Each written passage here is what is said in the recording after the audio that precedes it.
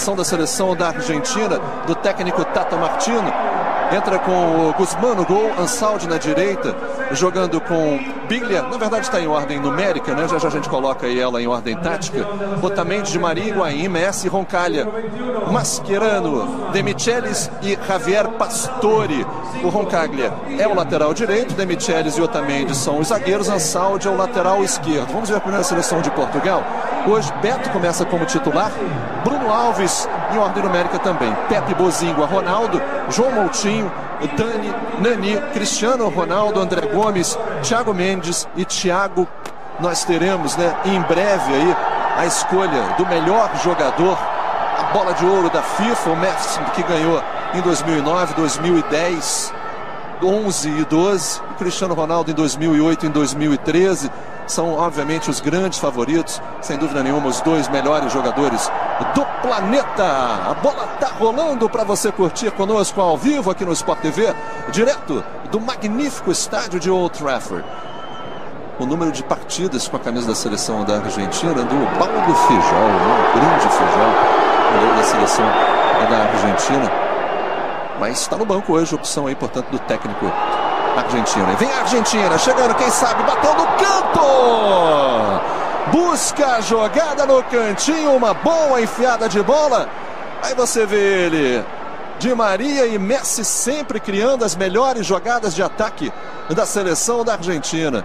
Messi encontrou o Di Maria, ele olhou o canto, meteu essa bola ali no cantinho, buscava a jogada para tentar surpreender o goleiro da seleção de Portugal. Jogada do Di Maria jogador do Manchester United. Isso aí, agora não pode dar espaço na frente da área. Final de jogo na Áustria, a seleção brasileira vence mais um amistoso, né? Vence a Áustria por 2 a 1 um gols no segundo tempo. Olha a Argentina chegando com o Messi! Bateu rasteira, ela passou à frente de toda a extensão da área. Praticamente sem ângulo, camisa número 10, Messi criou a jogada pediu e recebeu em condição legal. Pepe naquela característica jogada, né? Do zagueiro que levanta o braço, normalmente é aquele que está dando condição, Edinho. Exatamente. O Messi entrou. Agora não pode deixar é, os jogadores assim, com, com, com, essa categoria, tocar a bola rapidamente ali na, na frente da zaga. E o Messi chutou de direita. Conseguiu, deu sorte, a bola acabou sobrando nos pés dele, do craque Messi. Ele encara a marcação ali do Thiago Mendes. Aí no Messi, viu a ultrapassagem do Roncalha, meteu na direita. Higuaín tá na área, vem o cruzamento, passou o toque no canto para defesa na cabeçada do Pastore. Entrou por trás da zaga. Beto faz a defesa e mais uma chegada da Argentina, Edinho. E Pastore que está jogando um pouco mais atrás, né? Veio se infiltrando. A ideia dele é tocar no canto esquerdo, no contrapé do goleiro Beto. Mas não pegou tão bem. Deu tempo do, do, do Beto voltar e de fazer defesa. Vem outra passagem ali pelo lado esquerdo, aperta na marcação também o Bilha. Tentou chegar a Higuaín, a bola vai voltar na zaga. Bruno Alves. Tá aí o Beto. E aí você vai vendo deixa de ser Beto também, né? Pepe. É obrigado a bater para frente ali pelo alto, desvio de cabeça. Deu certo a jogada com o Bozingua, vem carregando. Tá em condição legal, lateral direito de Portugal. Meteu a bola na área no cruzamento. Ia parando nos pés de Cristiano Ronaldo de perna direita. Deixou no chão, limpou outro. Outra vez Ronaldo. Ele fez o corte três vezes. Talvez tenha abusado na última vez que ele tentou o drible. Mas vamos ver de novo. Ele ameaçou, deixou no chão. Cortou de novo, cortou outra vez, puxou para canhota Edinho e bateu muito embaixo. A terceira foi demais, mas a segunda, o segundo drible dele, ele não ajeitou a bola como ele queria. A bola ficou muito perto do corpo dele.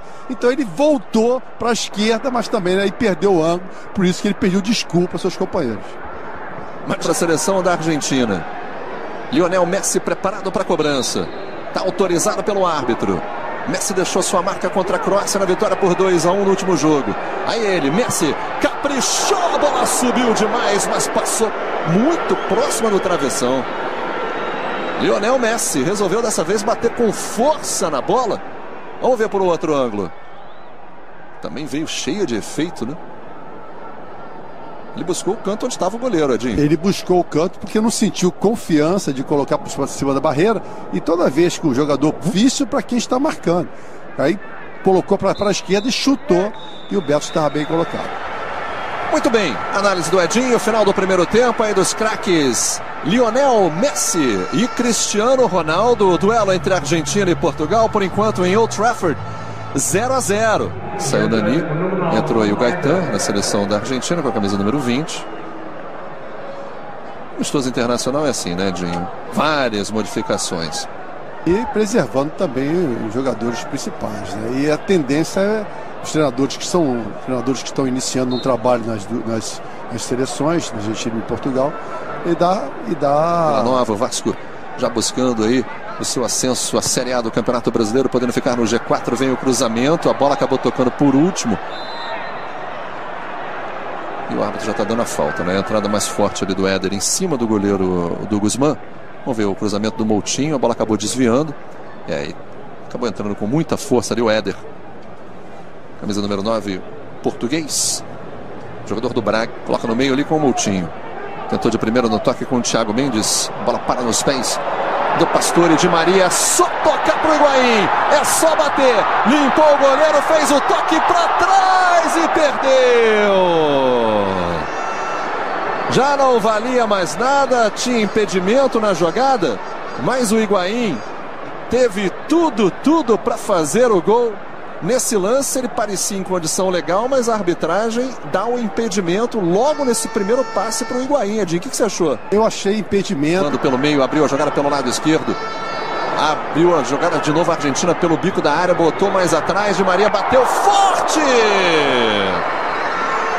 Bem colocado, Beto faz a defesa. Melhor lance do segundo tempo, Edinho. Melhor lance e agora que o Di Maria realmente viu que o Di Messi não está mais em campo, que ele tem que chamar a responsabilidade. Chutou muito bem, só que foi em cima do, do goleiro Beto, que estava bem posicionado. Bateu seco, pegou bem na. Sem o Di Maria e sem o Messi, acho que esvazia um pouco essa entrada dele, mesmo assim é importante. Olha o cruzamento no toque de cabeça, a bola foi para fora. Mais uma bela metida pelo alto pro Gaetan. Começou jogando o segundo tempo, Gaetan, olha só, ele parte ali em velocidade, enfiada de bola do Mascherano. Ele buscou pegar ali o Beto no contrapé. Buscou o canto direito, a bola acabou passando próxima do poste e foi pela linha de fundo. Os dois torcedores argentinos ali de pés, né, vibrando dispara por aquele setor.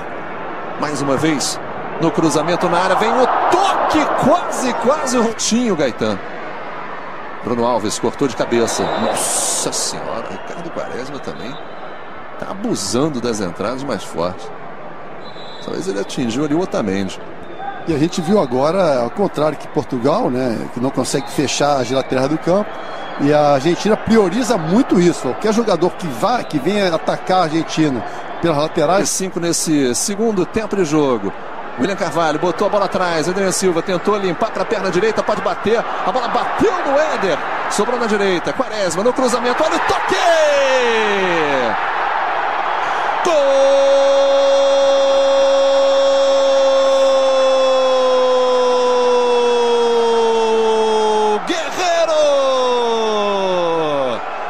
Gol! Jogador do Lorient na França. Mergulha e faz o gol para Portugal. A bola bateu no Éder. Sobrou na direita. Guerreiro livre. De peixinho e com estilo. Abre a contagem aos 45 para 46. Um para Portugal. Zero para Argentina, Edinho. E o Éder chamou a atenção do, do zagueiro. Ficou, ficou muito fácil pro, pro Rafael Guerreiro. Entrou sozinho, que veio, veio se infiltrando, lateral esquerdo.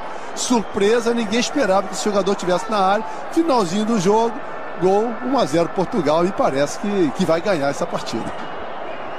Aí o jovem, camisa número 13, Rafael Guerreiro, 20 anos de idade aos 46 minutos. Faz o seu lateral do Lorient. Tá aí.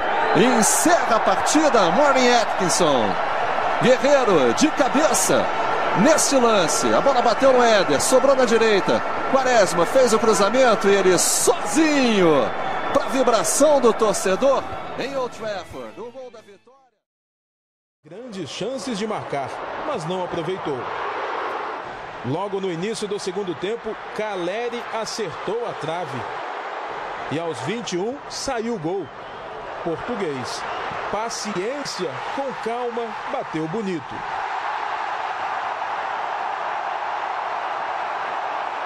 Os argentinos tentaram dar o troco, mas foi Bruno Fernandes quem teve a chance e chutou em cima de Rulli. Pité arriscou de fora da área e o argentino engoliu um frangaço.